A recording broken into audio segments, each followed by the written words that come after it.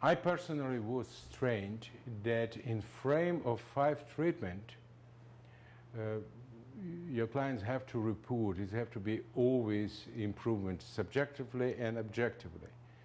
Some signs of, of improvement, it must be.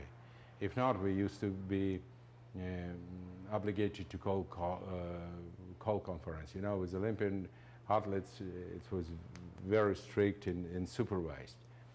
And uh, in frame, this how I was trained. In frame of five treatment, it's evidently improvement.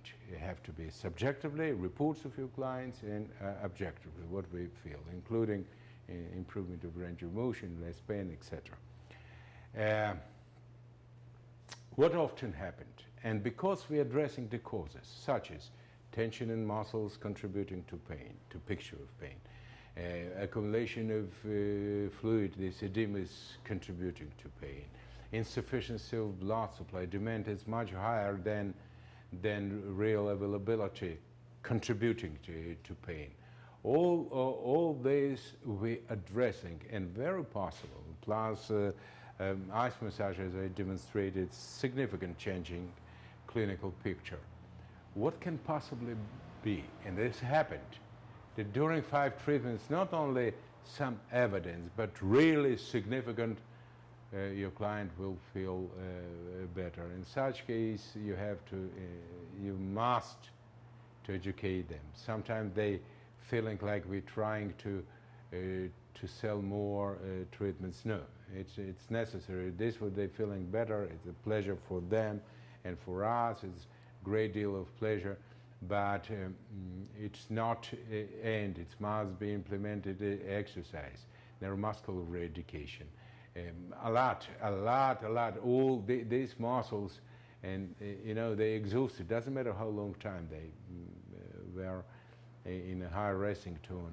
They exhausted. They, they needed healing. They didn't eat enough with all these uh, blood supplies including in first of all not only nutritional part but the uh, oxygen uh, supply. It's needed, needed, needed time. You just explain to them.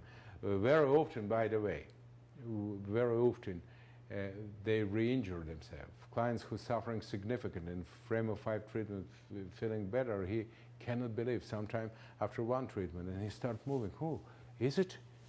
Is it? Where is this pain? Where is this gone? And this movement, muscles not ready for this movement. It will be strained, like I explained. It could be too much uh, for, for, for this um, movement. If, uh, you know, the load the muscles and tendons and it will be re-injury. Remember to tell them not to do it, even they can, and not to look for this pain, and not to challenge. Why? Because uh, re-injury, for some reason, cannot explain. Taking prolonged time to, to treat it successfully. Uh, yeah, therefore, we don't want it we don't want it, you have to uh, tell them. And not to run away. Not to run away, not to go to immediate routine back because they will re-injure themselves. It will come back. Yeah. And just when, when you create this trust, uh, they will believe that you're not trying to extract extra dollars from them. Um, I hope you enjoy to view my clip and most importantly you learn the protocol again. It's each step it's introduced by next step next step next step. Uh, each step have to be learned have to be mm, viewed. The concept I, I would recommend to, to, to listen to concept a few times also just because there's have to be unity of our understanding what we're doing and, and uh, technical approaches.